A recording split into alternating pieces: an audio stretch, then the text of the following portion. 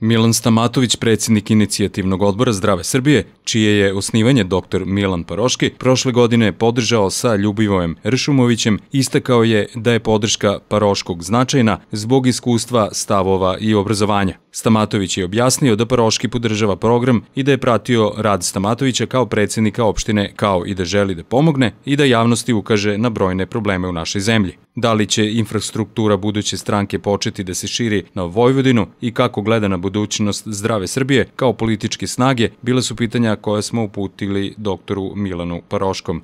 Pa naravno da će se širiti s tim što postoji zdravo Vojvodina već sada. Znači, koliko postoji inicijativa za zdravu Srbiju ovaj, na čelu sa predsjednikom inicijativnog odbora Milanom Stamatovićem, tako postoji inicijativa za zdravu Vojvodinu, ali još uvek čekamo uh, strukturiranje uh, pokreta ili stranke i posao nije završen.